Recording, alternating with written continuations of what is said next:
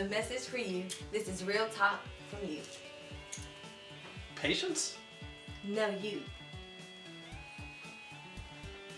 These are some things that need to be changed to make our health experience better. First up, cut the language. Did you know what ecchymosis meant when you were 17?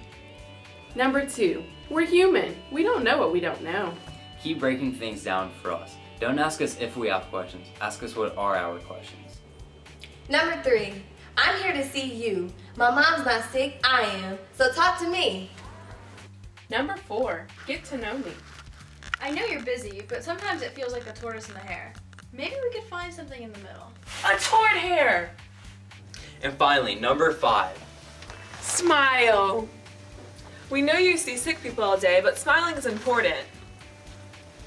Now this video was inspired by my Boy Kid President. But you have to remember, we're not five.